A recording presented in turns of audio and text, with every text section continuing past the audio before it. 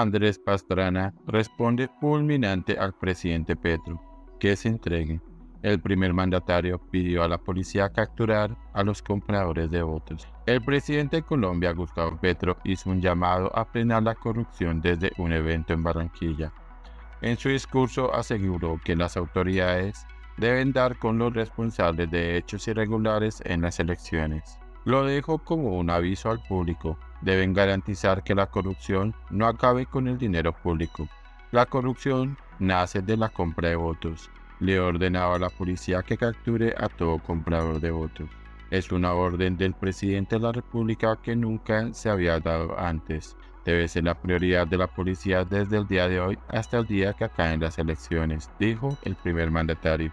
Aseguró también que habló con el director de la Policía General, William Salamanca, para darle esa instrucción y que la policía debe detectar compradores de votos en el Caribe y en todo el país, capturarlos, procesarlos y llevarlos ante el Poder Judicial. La presidencia publicó ese fragmento de las declaraciones del presidente y el expresidente Andrés Pastrana contestó fulminante que se entregue.